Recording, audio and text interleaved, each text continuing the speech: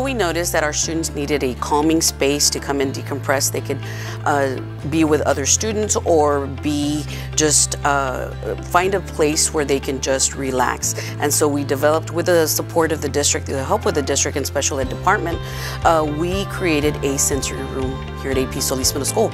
It actually has four stations. The first station is a swing station where students are able to move back and forth and then they're also able to uh, come in and lie, read a book, um, and just relax on the beanbag or the canoe.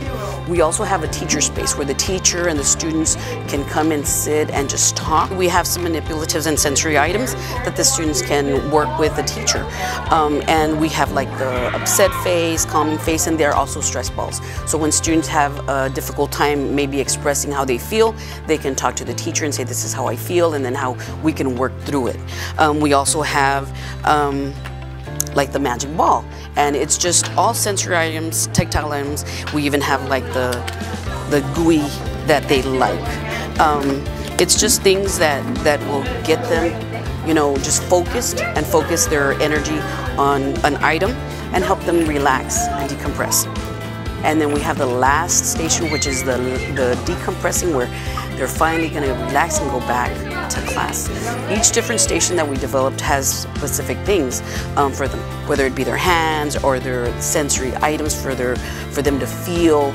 Um, it's just some place where they can come and just feel safe, relax for a bit, and then be ready, get all that energy out, and then be ready to go back and learn and continue their day. The whole point is to get the students feeling better so that way all their energy can be focused in a positive manner when they get back to class.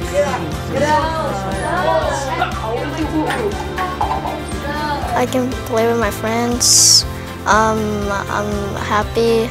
I'm a lot hyper, and I can in the beanbags and talk about a lot of things, and also play ball catch or dog dog catch with my friends. It makes me feel hyper excited and calm. I have noticed a big difference in my students. They really enjoy the sensory room because it allows them to uh, go to a space where they feel safe, they enjoy the environment, um, it lets them calm down and just be more attentive in the classroom because they have someone where they can de-stress. After leaving the sensory room, it helps my students focus on the objectives that we're trying to teach and I think that this room has made a big impact on their learning in my classroom. Okay, you can lie down.